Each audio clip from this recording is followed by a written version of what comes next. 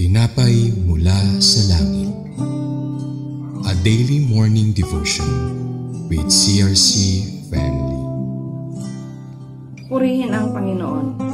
Isang mapagpalang umaga po sa bawat isa. Ako po si Pastor Aliti Mir ng CRC Makati. Samahan niyo po ako sa pagninilay ng salita ng Diyos sa programang Tinapay mula sa Langit. Ang ibabahagi ko sa inyo sa umagang ito ay matutunghayan sa Genesis Kabanata 1, talata 28. At binasbasan niya sila. Sinabi niya, Magpakarami kayo para mangalat ang mga lahi ninyo at mamahala sa buong mundo. At pamahala ninyo ang lahat ng hayop. Ang pamagat, responsibility to rule the world for God. Sumandali po tayong manalangin. Aming Ama na nasa langit, Maraming salamat po sa mensahe na aming pag-aralan sa umagang ito. Humihingi po ako ng patnubay ng banal na Espiritu sa pagpapahayag ng iyong mensahe sa pamagitan ng iyong mga salita. Ito po ang aking panalangin sa ngalan ng iyong anak na si Jesus. Amen. Sa talatang ito ng Genesis chapter 1 verse 28 ay nagtuturo ng pagtitiwala sa pamamahala ng tungkulin Ayon sa kaugalian, ito'y kilala na may kapangyarihang talata. Nagbibigay sa tao ng karapatan na masigit pa sa kalikasan. Nagbibigay din sa atin ng responsibilidad sa pangangalaga sa kalikasan na alinsunod sa kalooban ng Diyos.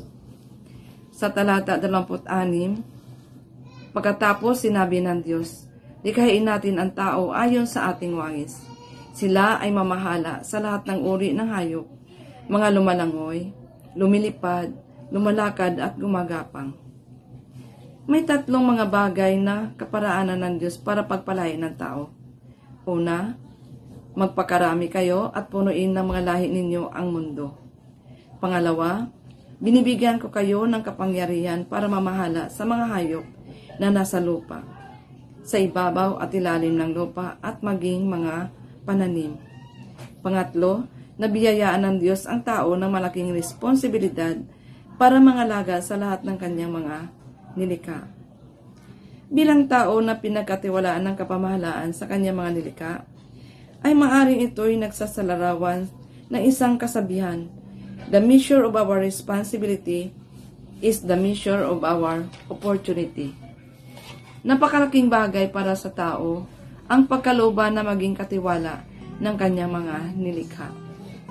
Purihin ang Panginoon sa mga salita natin na pagbulay-bulayan sa umagang ito. Tayo po ay manalangin. Maraming salamat po aming Diyos sa kapahayagan ng iyong mga salita sa bawat sa sa amin. Tunay nga na ikaw lamang ang maghahari sa aming mga buhay. Dahil kung wala ka sa amin, wala kaming magagawa. Itinatasin po namin sa inyo ang aming mga kababayan na dumaranas ng iba't ibang uri ng mga pagsubok. Nawa mapagtagumpayan nila ang mga pagsubok sa tulong mo. Ito po ang aming mga sama-samang panalangin sa pangalan ng anak na si Jesus, na aming Panginoon at tagapagligtas. Amen. Muli, inanyanyahan namin kayo na subaybayan ang programang Tinapay Mula sa Langit ang ating pang-araw-araw na devotion tuwing alas 5.30 ng umaga. God bless us all. To God be the glory.